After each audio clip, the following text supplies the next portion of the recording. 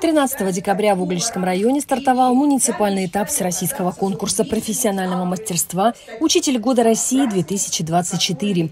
Состязания педагогов по традиции начались с творческой презентации опыта работы. Мы очень рады, что не изменяем нашей традиции, установившейся в Угличском муниципальном районе. И мы проводим э, вот нашим конкурсом движений, проводим конкурс всегда в одно и то же время, преддверии самого долгожданного и самого замечательного праздника Нового года. В этом году на конкурс заявились четыре педагога. Учитель начальных классов средней школы номер 4 Марина Грицевич, учитель математики восьмой школы Наталья Желтова, учитель физкультуры средней школы номер 7 Владислав Смирнов и учитель географии шестой школы Галина Спичкей.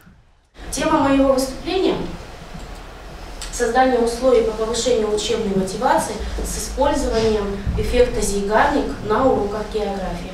Особенностью конкурса является то, что у нас в этом году педагоги, учителя в первую очередь. Э, к сожалению, воспитатели года э, не заявились в этом году на конкурс. Э, причины могут быть самые разнообразные.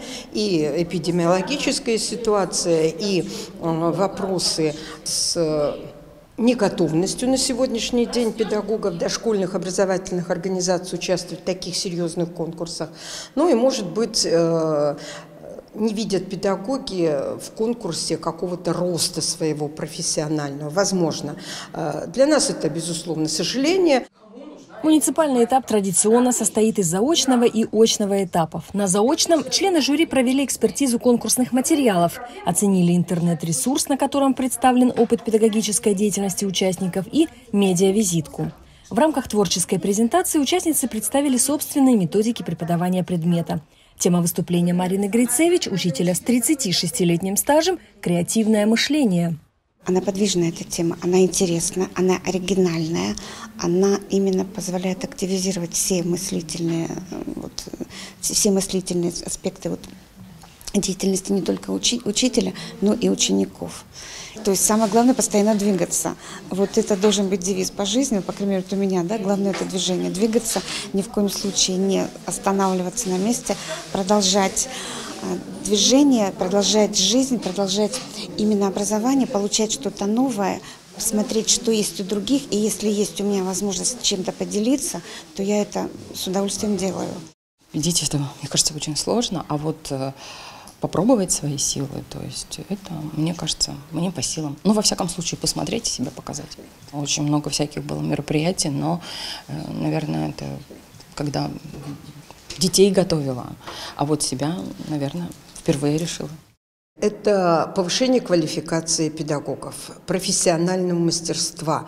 Э, это в первую очередь презентация педагогов, их лучших практик, которые они а, могут продемонстрировать, э, давая занятия, воспитательные мероприятия на чужих детях.